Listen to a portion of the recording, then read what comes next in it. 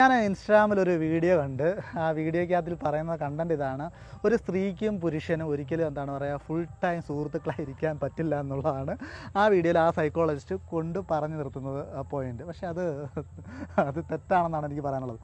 പക്ഷേ ഒരു സ്ത്രീക്കും പുരുഷനും ജീവിതകാലം മുഴുവൻ സുഹൃത്തുക്കളായിരിക്കാൻ പറ്റുമോ ഇല്ലയോ എന്ന് തീരുമാനിക്കുന്നത് അയാളുടെ വ്യക്തിപരമായ മൂല്യങ്ങളുടെ അടിസ്ഥാനത്തിലാണ് വ്യക്തിഗത മൂല്യങ്ങളാണ് അത് ചെയ്യുന്നത്.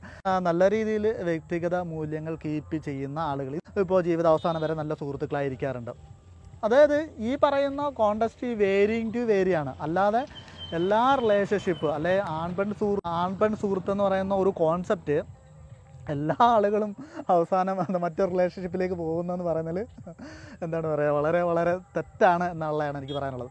പലപ്പോഴും ഇന്ന് നമ്മുടെ സൊസൈറ്റി കണ്ടെന്ന് കഴിഞ്ഞാൽ ഒരു പെണ്ണിനൊരു സുഹൃത്തുണ്ടെങ്കിൽ അവരെ ബെസ്റ്റ് ഉണ്ട് എങ്കിൽ ആ, എന്താണ് പറയുക അതിനെ തെറ്റായിട്ടുള്ള ഒരു റിലേഷനിലേക്ക് ഇന്റർപ്രിറ്റ് ചെയ്തെടുക്കുന്ന ഒരു പുരുഷ മേധാവിത്വമുണ്ട്. അത് പുരുഷ മേധാവിത്വം തന്നെയാണ് ചെയ്യുന്നത്. അതായത് ആ ബെസ്റ്റ് എന്ന് പറയുന്നത് എന്താണ് പറയുക ഫ്രണ്ടിക്ക് മേലെ കാമുകന് താഴെ എന്ന് പറയുന്ന ഒരു ഇന്റർപ്രിറ്റേഷൻ കൊടുക്കുന്നത് ഇതിന് പുരുഷാധിപത്യം തന്നെയാണ്. അതായത് അവനാണത് ആവശ്യം. അങ്ങനെ ഒരു ഫ്രണ്ട്ഷിപ്പ് നിലനിൽക്കുന്നില്ല. അല്ലെങ്കിൽ അവൻ അവളെ മാനിപ്പുലേറ്റ് ചെയ്യാനുള്ള ഒരാളാണെന്നുള്ള ഇന്റർപ്രിറ്റേഷൻ കൊടുക്കേണ്ടത് ഇവിടുത്തെ പുരുഷത്തിന്റെ ആവശ്യമാണ്.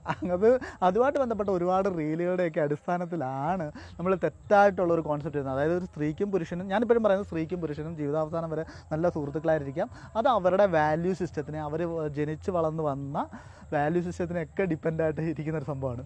ഇതൊക്കെ വളരെ വളരെ ഡെപ്തിൽ ഡീറ്റെയിൽ ആയിട്ട് ചെയ്യേണ്ട വീഡിയോസാണ് അപ്പോൾ നിങ്ങൾക്ക് താല്പര്യം ഉണ്ടെങ്കിൽ ഇത്രയും കാര്യങ്ങളെക്കുറിച്ചൊക്കെ ഞാൻ കൂടുതലായിട്ട് സംസാരിക്കാം.